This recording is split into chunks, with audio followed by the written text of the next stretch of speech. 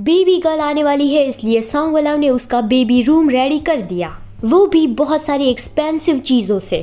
खासकर उसने पाँच पेंटिंग्स लगाई थी 20-20 मिलियन वाली।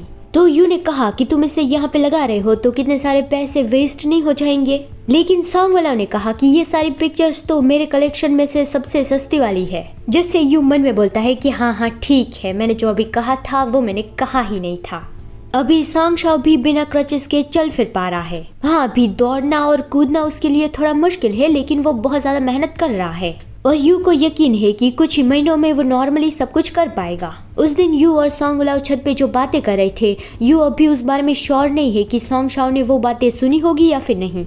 लेकिन उस दिन के बाद सॉन्ग शाओ सॉन्ग वाला को लेके कुछ ज़्यादा ही क्यूरियस हो गया है। मतलब वो सॉन्ग वाला से ज़्यादा क्लोज होने की कोशिश कर रहा है। वो तो पहले भी लोगों के सामने एनर्जेटिक और बहुत ज़्यादा चेयरफुल रहता था। लेकिन कई बार यू को गर्मी की वजह से रात को नींद नहीं आती।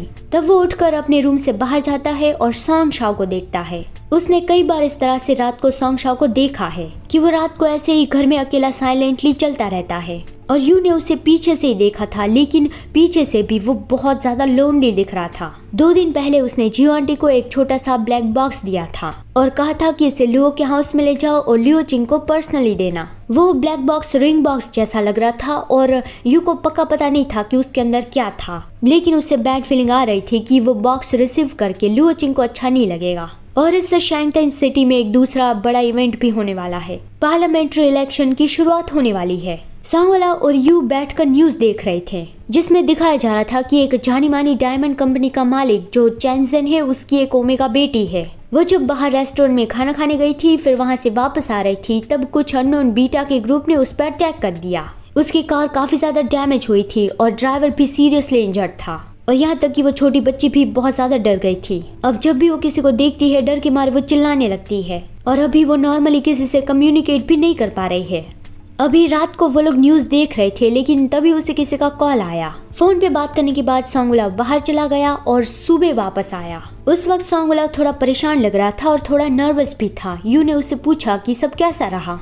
मतलब रात को सोंगुला चैनसेन की मदद के लिए गया था, उसकी बेटी पे अटैक हुआ था ना? क्योंकि ये चैनसेन बहुत बड़ा बिजनेसमैन है। हर साल वो काफ़ी सारे पैसे डोनेट करता है गरीबों की मदद करने के लिए। और उसने तो ये भी कहा है कि उसके मरने के बाद वो उसकी सारी धन दौलत दान कर देगा। इसमें उसके बच्चे भी काफ़ी ज़्यादा सपोर्टिव है। सॉन्ग वाला ने बताया कि बिज़नेस ग्रुप में चैनसेन को काफ़ी सारे लोग पसंद करते हैं। उसके पास काफ़ी वाइड ग्रुप है। जब उसकी फैमिली में कुछ हुआ, तब सच में उसने ये कह के रिस्पॉन्ड दिया कि जब एक को मुसीबत आई, तब सब लोग उसे सपोर्ट करेंगे। जिस बीटा ग्रुप ने क्राइम किया था, वो कुछ घंटे पहले ही पकड़े गए हैं। उस बीटा को जब ये पूछा गया कि उसने उस ओमेगा लड़की के साथ ऐसा क्यों किया तो उसने ये बताया कि वो दूसरों से नीची ज़िंदगी नहीं जीना चाहता।